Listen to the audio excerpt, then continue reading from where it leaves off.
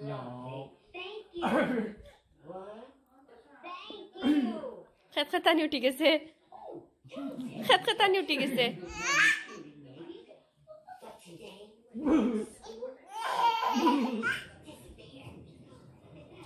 বিন হাইলিছে আসসালামু আলাইকুম এভরিওয়ান ওয়েলকাম ব্যাক টু ওয়াইদাস টাইনি ওয়ার্ল্ড আশা করছি আপনারা সবাই অনেক ভালো আছেন। আর আলহামদুলিল্লাহ আপনাদের দোয়ায় আমরাও ভালো আছি। তো আজকের ব্লগটি আমি গতকালকে ইফতারের পরের থেকে শুরু করেছি। ইফতারের পর বললে ঠিক হবে না। এখন হচ্ছে তারাবি আদায় করে একদম মানে রাত হয়ে গিয়েছে। বারোটা বাজেনি এখনও তো দেখতেই পাচ্ছেন কিচেনের যা অবস্থা। আমি সব সময়ের মতো কিচেনে এসেছি, বাকি টুকিটাকি কাজ শেষ করার জন্য। তো ইফতারির পরে আসলে মানে সব কিছু মানে করি না, কারণ আপনারা তো জানেন একটু রেস্ট করি। তারপর তারাপির নামাজ আদায় করে তারপর একদম কিচেনে চলে আসি। তো এখন যে বাকি খাবার দাবার লেফট ওভার ছিল সেগুলা বক্সের মধ্যে করে রেখে দিব আগামী কালকের জন্য। আর গতকালকে তো দেখেছেন আপনারা যে এই সবজিটা করেছিলাম, একটু পরেই আপনাদের সাথে রেসিপিটা শেয়ার করব। তো দেখতে দেখতে রহমতের দশটা দিন চলে গেল। আসলে রহমতের দিনগুলো যেন এমনিতেই চলে যায়। আমরা যতই ব্যস্ত থাকি, এমনিতে তো বিদেশের মাটিতে বলেন আর দেশের মাটিতে বলেন, সবাই কিন্তু আমরা ব্যস্ত। তো দিন কোন দিকে যায়, বছর কোন দিকে যায় টের পাওয়া যায় না। কিন্তু রমজান মাসটা যেন আরও বেশি তাড়াতাড়ি চলে যায় আমার কাছে মনে হয় আর কি। দেখুন, দেখতে দেখতে আমার মনে হলো যে কালকে মনে হয় প্রথম রোজা রেখেছিলাম। আর আজকে এগারো রোজা চলছে। তো যাই হোক লেফট ওভার খাবারগুলো আমি সব বক্সের মধ্যে করে এভাবে রেখে দিই। তো আগামীকালকে আমার বেশি ইফতারি বানাতে হবে না, যেহেতু বেক চিকেন তারপরে এই পটেটো এগুলো ভালো থাকে আসলে। ভাজা পোড়া অনেক সময় দেখা যায় খাওয়া যায় না, কিন্তু এই ধরনের খাবার দাবার ভালোই লাগে। তবে একটা জিনিস, আলহামদুলিল্লাহ আমি বলব যে আমাদের ঘরে খাবার খুবই কম নষ্ট হয়। মানে ফেলা হয়ই না বলতে গেলে। আমি মানে হিসাব করে একদম ভাজা পোড়াটা করি। এজন্য দেখা যায় আমাদের খাবার শেষ হয়ে যায়। ওয়েস্ট হয় না, আলহামদুলিল্লাহ। আর আমি চাইও না ওয়েস্ট করতে।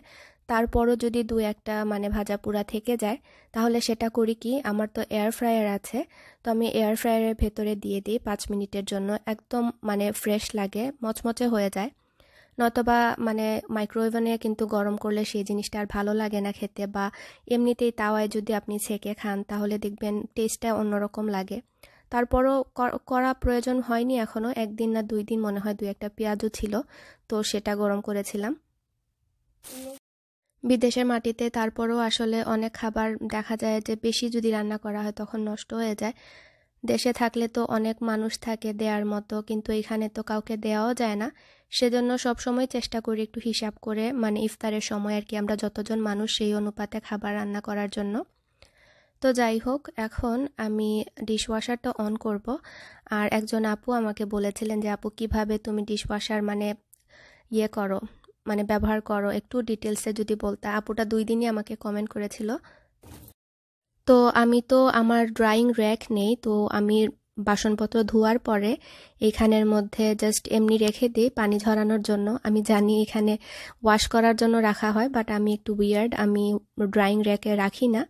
তো আপনারা দেখতে পাচ্ছেন, আমি একটু গরম পানি করে নিয়েছি কেটলের মধ্যে, তারপর একটু ভিনিগার দিয়ে আমি দশ পনেরো মিনিট, মিনিটের জন্য আর কি এমনিতেই ডিশওয়াশারে রেখে দিয়েছি। কারণ যেহেতু ড্রয়িং র্যাক হিসাবে ব্যবহার করি, সেহেতু অনেক সময় পানি জমে যায় নিচে, তো একটু বাজে গন্ধ হয়ে যায়। তো এই জন্যই আর কি আমি সপ্তাহে একবার চেষ্টা করি বা দুই সপ্তাহে একবার চেষ্টা করি ডিশওয়াশারটা অন করতে। আর যে কোনো মেশিনারি জিনিস আসলে চালু রাখতে হয়, আপনি যদি চালু না রাখেন, তখন দেখবেন আপনার মেশিনটাও নষ্ট হয়ে যাবে। তো সব বাসনপত্র দিয়ে আমি ডিশওয়াশারটা অন করে দিব। আর ভিনিগার আর গরম পানি দেয়াতে আর কি যাতে বাজে স্মেলটা না হয় সেজন্যই আর কি দেয়া। তো এই ধরনের ডিশ পটগুলো পাওয়া যায় ধোয়ার জন্য আমি সেটা ব্যবহার করি। তো এখানে দেয়াই থাকে জাস্ট এখানের ভেতরে দিয়ে লক করে দিলেই চলে। রেগুলার যে ডিশ লিকুইড যেটা, সেটা দিলে কিন্তু হয় না। তো আমি, কি বলব, অনেকের কাছেই হয়তো এই জিনিসগুলা খুবই ইজি বাট তারপরেও অনেক যারা বাইরে থেকে মানে দেশ থেকে, দেশের বাইরে আসেন, অনেকের কাছেই নতুন মনে হয়। তো একটু দেখিয়ে দিচ্ছি। তো এইভাবে ডিশওয়াশারের বাইরে কিন্তু অনেক অপশন থাকে। লাইট ওয়াশ তারপরে পটস অ্যান্ড প্যান তারপরে জাস্ট চায়না ক্রিস্টাল অনেক অপশন থাকে। তো আমি এখন শুধু লাইট ওয়াশে দিয়েছি। তো উপরের র্যাকে সবসময় কাপ, গ্লাস এগুলো রাখা হয়। আর নিচে প্লেট বা ভারী কোনো জিনিসপত্র থাকলে। আর স্টেনলেস স্টিলের হাঁড়ি পাতিলও দেয়া যায়, কিন্তু আমি দেই না। দিলে কেমন যেন কালারটা নষ্ট হয়ে যায়, যে একটা শাইনি চকচকে ভাব থাকে, সেটা মানে থাকে না। আর এখানে আসলে বেশিরভাগ হাঁড়ি পাতিল বা ডিশের মধ্যে লিখাই থাকে যে ডিশওয়াশার সেফ কিনা, তো সেটা দেখে আপনি দিয়ে দিবেন। আর একসাথে বেশি করে কিন্তু বাসন দিলে হবে না, ফাঁকা ফাঁকা রেখে তারপরে দিতে হবে। যেহেতু মেশিনে ওয়াশ করবে, তো অনেক সময় দেখা যাবে যে ভালো করে পরিষ্কার হয় না। তো সেই জিনিসটা আর কি মাথায় রাখতে হবে। আমি কারণ অনেক সময় দেখেছি যে আমি দুই একটা বাসন যদি এক্সট্রা দিয়ে দিই, তখন দেখা যায় যে প্লেটের পাশ থেকে চিপ হয়ে যায় মানে ছোট ছোট টুকরা উঠে আসে। তো আমি প্রথম প্রথম বুঝতাম না যে কেন এই ধরনের টুকরা উঠে আসে। তো পরে আবিষ্কার করলাম যে আমি একসাথে বেশি ডিশ দিয়ে দিয়েছিলাম। আর আমি ননস্টিকের হাঁড়ি পাতিল ভুলেও ডিশওয়াশারে দেই না। আমার কাছে কেন যেন বাইরে থেকে একটা আস্তরের মতো দেখা যায়, সেই জিনিসটা ভালো লাগে না। আমি দিয়েছি কয়েকবার বাট পরে দেখা যায় কেমন যেন একটু সাদাটে ভাব চলে আসে, সেজন্য আর কি। আর আরেকটা জিনিস বলব যে, চামচ, ফর্ক এগুলা যখন দিবেন, তখন আপসাইড ডাউন করে দিলে ভালো। আরেকটা জিনিস ডিশওয়াশারে বাসন দেয়া নিয়ে একটা কন্ট্রোভার্সি আছে, সেটা হচ্ছে আমেরিকানরাও কিন্তু এটা করে মানে ফান করে ওরা, যে কেউ কেউ বলে যে বাসনপত্র রিন্স করে দিতে হয়, যাতে ময়লা যে থাকে, খাবার দাবার এক্সট্রা সেটা আর কি ধুয়ে দেওয়ার জন্য নয়তো বা ভালো করে ক্লিন হবে না। আবার কেউ কেউ বলে, না খাবার দাবার সহই মানে লাগানো থাকলে সমস্যা নেই, ডিশওয়াশারে দিলে ক্লিন হয়ে যায়। তো এটা নিয়ে দ্বিমত। তো আপনারা যারা ব্যবহার করেন, তারা কমেন্ট করে জানাবেন, কি করেন আপনারা? আমি জানতে চাই। তো আমি দেখা যায়, দিতে চাই হচ্ছে মানে সামান্য যদি তরকারি লাগানো থাকে, আমি দিয়ে দিতে চাই বাট আমার হাজব্যান্ড বলে, না ওয়াশ করে দিও। তো এই হচ্ছে কথা আর কি। তো কমেন্ট করে জানাবেন। তো এখানে আপনাদের সাথে মিক্স ভেজিটেবলের রেসিপিটা শেয়ার করব। এর জন্য আমি নিয়েছি গাজর, কাঁচা পেঁপে। আর আপনার কাছে আসলে যে সবজি থাকে সেটা নিলেই হবে। তারপর নিয়েছি ফুলকপি। ফুলকপি বেশি নেইনি, কয়েক টুকরা নিয়েছি, ছোট ছোট টুকরা করে। দেখতেই পাচ্ছেন সাইজটা কেমন করে কেটে নিয়েছি। মানে সিমিলার সাইজে চেষ্টা করবেন সব কিছু রাখার জন্য। আপনি চাইলে গ্রিন বিনসও দিতে পারেন। আমি একটু পরে অ্যাড করব আর কি। আর এভাবে আমি একটা হাঁড়িতে সামান্য পানি নিয়ে একটা ঝাঁঝরির মধ্যে করে বা ক্যালেন্ডারের মধ্যে করে আমি স্টিম করে নেব দশ থেকে পনেরো মিনিটের জন্য। এতে করে সুন্দরভাবে স্টিম হয়ে যাবে আর একটু সিদ্ধ হয়ে আসবে, এইট্টি পার্সেন্টের মতো কুক হয়ে যাবে আর কি। স্টিম করলে একটা জিনিস ভালো হয় যে আপনার পুষ্টিগুণ অটুট থাকে, নয়তোবা দেখা যায় পানির মধ্যে সব ভিটামিন চলে যায়। তো এখন আমি একটা চওড়া প্যানের মধ্যে তেল দিয়ে দিয়েছি। দিয়ে দিয়েছি দুইটা তেজপাতা আর দুই টুকরা দারুচিনি। দিয়ে দিয়েছি পেঁয়াজ, একটু বেশি করে, প্রায় দুই কাপের মতো হবে।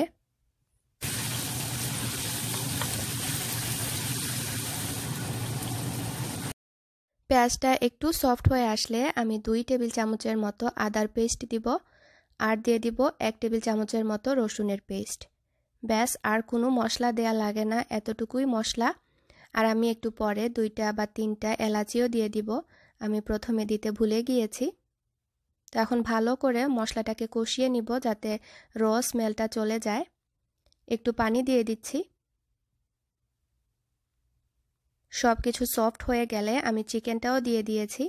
এখানে আমি হাড় সহ ছোট ছোট টুকরা করে চিকেনের মানে দুই কাপের মতো হবে চিকেন কেটে রেখেছিলাম। আপনারা চাইলে শুধু বুকের মাংস দিয়েও করতে পারেন। আমি প্রায় সময় করে থাকি, তো গতকালকে তো অন্য আরেকটা রেসিপি করেছিলাম। সেজন্য সেখান থেকে কয়েক টুকরা চিকেন নিয়েছি মাত্র।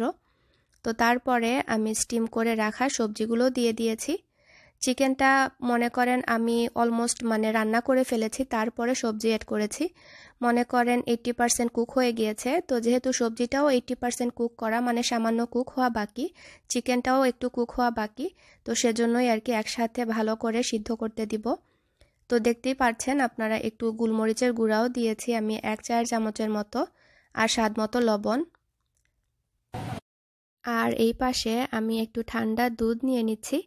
আপনি চাইলে শুধু ঠান্ডা পানির মধ্যেও করতে পারেন। তো দেখতেই পারছেন আপনারা, আমি কিন্তু গ্যালনের, দুধের গ্যালনের ইয়েটা, মুখটা না খুলে দুধ ঢালতে লেগেছি। রোজায় ধরে গিয়েছিল আমাকে। তো যাই হোক, এখানে কর্নফ্লাওয়ার বা কর্ন স্টার্চ আমি দুই টেবিল চামচের মতো গুলে নিচ্ছি ঠান্ডা দুধের সাথে। তো এক কাপ দুধে আমি দুই টেবিল চামচের মতো কর্নফ্লাওয়ার বা কর্ন স্টার্চ গুলে নিয়েছি। অবশ্যই ঠান্ডা দুধের মধ্যে নয়তো বা লাম্প হয়ে যাবে। তো এখন আমি সবজির মধ্যে ঢেলে দিয়েছি। তো আমি আরও এক কাপ পানি দিব এর সাথে। তারপর আমি ঢাকনা সহ ঢেকে রেখে দিব যাতে ভালো করে সবজিটা রান্না হয়ে যায়। আর এতে করে দেখবেন আপনার সবজিটা একটু মাখা মাখা হয়ে যাবে। যেমন বিয়ে বাড়িতে থাকে একটু ঘন থকথকে ঠিক সেরকমই হবে। যারা এই সবজিটা বাসায় ট্রাই করেছেন, তারা তো জানেন এটার টেস্ট এটা কিন্তু চাইনিজ ভেজিটেবলের মতো না, আবার একদম বিয়ে বাড়ির যে বাবুর্চিরা করে সেরকমও না। মাঝামাঝি একটা রেসিপি কিন্তু এত মজা, আমি জানি না, আমার কাছে খুবই ভালো লাগে। বিশেষ করে পোলাও বা ফ্রাইড রাইসের সাথে খেতে আমার মানে বেশি পছন্দ। তো সবার শেষে আমি কয়েকটা কাঁচামরিচ দিয়ে ঢাকনা দিয়ে রেখে দিব পাঁচ মিনিটের জন্য। তো ব্যাস রেডি হয়ে গেল আমার সবজি। আর এখানে দেখতে পাচ্ছেন ফালাক। উপরে মানে দুষ্টামি করছে নিচে যাওয়ার জন্য। নতুন হাত পা হয়েছে আর কি, এজন্য চোখে চোখে রাখতে হয়, নয়তোবা কখন পড়ে যাবে সেই ভয় থাকে। আর এই পাশে আমাদের ঘাসের মধ্যে সার দিচ্ছে। আমরা প্রত্যেক বছরই সামারে এভাবে মানে প্রাইভেট ঘাসে সার দেওয়াই। তো এতে করে সুন্দর থাকে আর কি ঘাস। আর আসলে সামারের দিনে যেটা হয় আর কি বাইরে যদি ঘাস মরে যায়, তখন খুবই খারাপ লাগে। গত বছর তো আমাদের এত গরম ছিল মানে আমি এখন পর্যন্ত কোনো দিনও দেখিনি এরকম সিচুয়েশন যে ঘাস মরে গিয়েছে। বাট গত বছর দেখা গেছে যে আমাদের পুরো মানে ব্যাকইয়ার্ড বলেন বা সবারই আর কি এত মানে মরা ঘাস খারাপ লেগেছে আসলে। তো প্রকৃতি আসলে জানিয়েছিল আমাদেরকে যে আর নিতে পারছে না। মেবি এর জন্যই লকডাউন আমাদেরকে হয়তো বা ভালো দিনের একটু আভাস দিচ্ছে, কারণ পলিউশন কিন্তু বেড়ে গিয়েছে। আর এই জন্যই গ্লোবাল ওয়ার্মিং বলেন বা বাকি মানে এত মানে মানে পরিবেশের যে একটা চেঞ্জ সেটা হচ্ছে। আর এখানে আমার হাজব্যান্ড স্যামস ক্লাবে গিয়েছিলেন, তো সেখান থেকে সব বাজার এনে গ্যারাজে রাখবেন। তো আমরা এরকমই করি। এখনও কিন্তু মানে ভেরি কেয়ারফুল সব কিছু নিয়ে। আগে যেরকম করেছি ঠিক এখনও সেরকমটাই করছি। অনেক জায়গায় কিন্তু শোনা যাচ্ছে লকডাউনটা তুলে ফেলছে। তারপরেও আমি সবাইকে বলব কেয়ারফুলে থাকার জন্য। যতই তুলুক না কেন, এই ভাইরাস কিন্তু এত জলদি যাবে না। তো আমরা যতটুকু পারি কেয়ারফুলি থাকব। তো দেখতে পাচ্ছেন ফুলগুলো ফুটেছে, এত ভালো লাগে আসলে বাইরে গেলে এখন। আর এখানে ফালাকের জন্য একটা ওয়াগন অর্ডার করেছিলাম, সেটাও চলে এসেছে। তো সবগুলো প্যাকেজ আগের মতোই আমরা গ্যারাজের মধ্যে রাখব, তারপরে দুই থেকে তিন দিন পরে আবার মানে ঘরের ভেতরে কেয়ারফুলি নিব আর কি। আর এই কর্নারে দেখতে পাচ্ছেন আমাদের সেই হাঁস। এই বছর ডিম ফেলে আর যায়নি তো আমরা ডিম মানে খেতে পারব না, তো ভালোই হয়েছে, আমি খুব খুশি। কারণ কষ্ট লাগতো আসলে যখন হাঁসটা ডিম পেরে চলে যেত, কিন্তু ওয়েট করতে করতে আর আসতো না, তখন না পেরে আমরা ডিমগুলো আনতে হতো। তো এবছর মনে হয় ডিমে তা দিয়ে বাচ্চা ফুটাবে, তো আপনাদের সাথে শেয়ার করব যদি বাচ্চা ফুটায়। আর এখানে একটা জুসার এসেছে। এই প্রথম আমি কোনো স্পন্সরশিপ বা স্পন্সর প্রোডাক্ট আমার ভিডিওতে বা ভ্লগে দেখাচ্ছি। আর আমার মানে খুবই এক্সাইটেড লাগছে যে প্রোডাক্টটা কেমন। কারণ প্রায় সময় দেখা যায় যে অনেক কোম্পানি আমাকে রিচ আউট করে স্পন্সরের জন্য। তো আমার ভালো লাগে না, বিধায় আর মানে এগ্রি করি না। তো ভাবলাম এটা যেহেতু জুসার আর কিচেনে তো সবসময় লাগে। আর আমার অনেক আগে একটা জুসার মেশিন ছিল তো সেটা নষ্ট হয়ে গিয়েছিল, তো পরে আর আমি কিনিনি। তো ভাবলাম ঠিক আছে, এটা দেখি আমি, যদি ভালো লাগে তো আপনাদের সাথে অনেস্ট রিভিউ দিব, আর ডিসক্রিপশন বক্সেও লিঙ্কটা দিয়ে দিব। যদি ভালো লাগে তাহলে আপনারা অর্ডার করতে পারবেন। আর এখানে আগে থেকে করে রাখা কিছু বাজার এটা ঘরে এনেছি। মানে এইভাবে হয়, যেগুলা এনে ড্রাই জিনিস রাখা যায় বাইরে, সেগুলা বাইরে রেখে দিই, তারপর তিন দিন পরে আবার এনে ঘরে এগুলা গুছাই।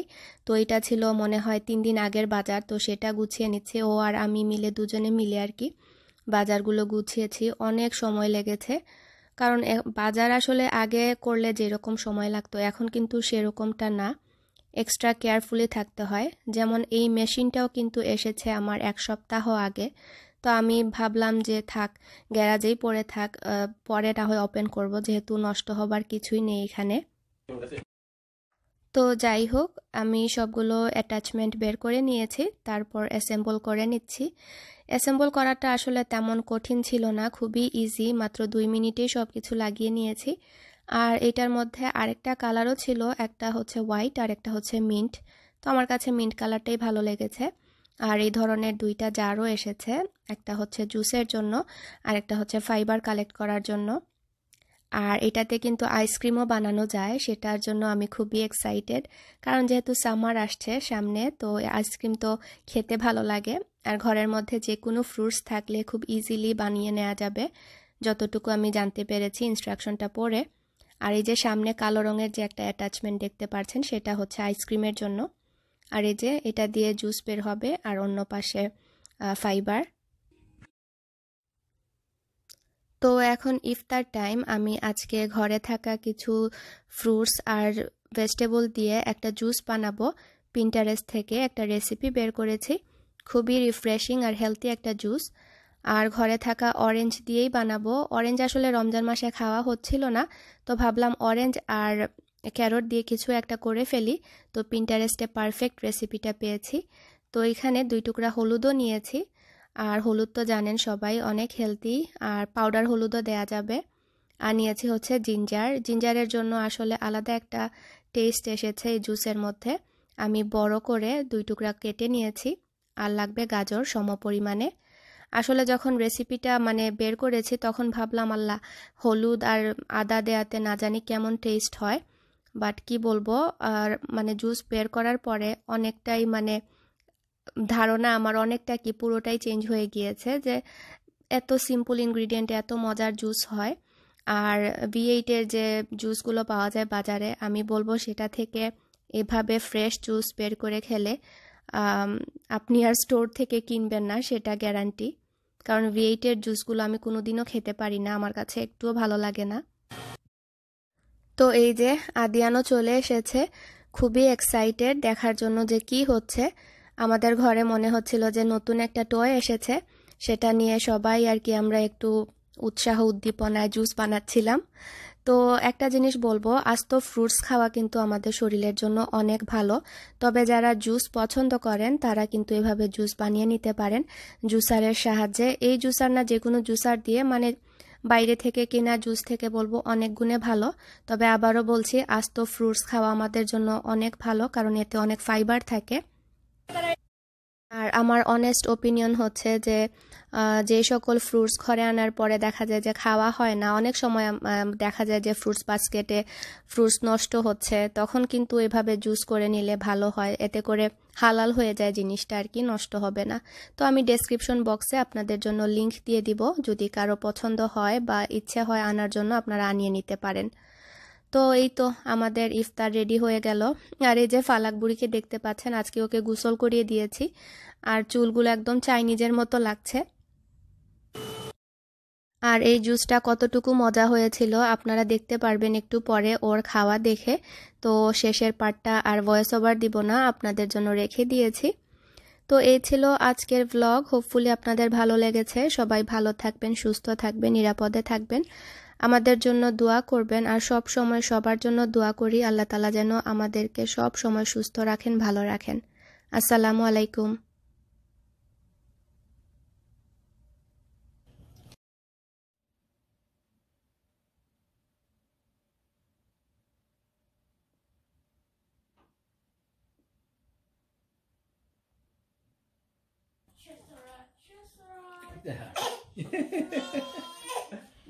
না তোমার দেওয়া যাইতো না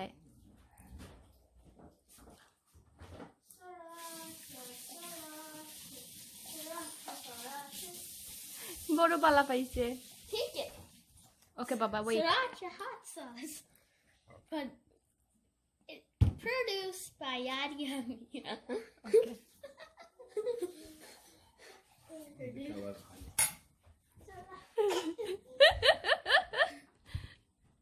রাইনি পাখনিপুরির অবস্থা